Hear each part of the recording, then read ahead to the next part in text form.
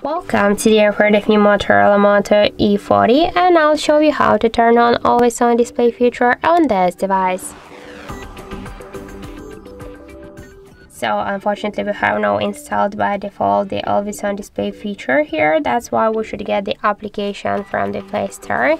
Let's open the Play Store and here in the search pool we should enter the uh, Muviz Edge Muviz Edge application and now we should get this first app so that's why I tap to install and wait a couple of seconds while this application downloading and then installing on your device.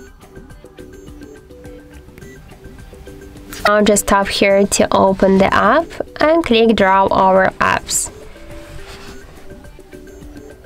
now just find here the Muviz application and tap once on the switcher. After that just go back to the application, tap here to add the feed switcher here and select one from these available tabs. For example, let's use this one, then just tap here to apply.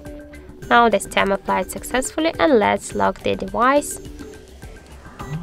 Tap twice on the camera. Oh sorry to the power key button. And now we can see that the always on display feature successfully activated.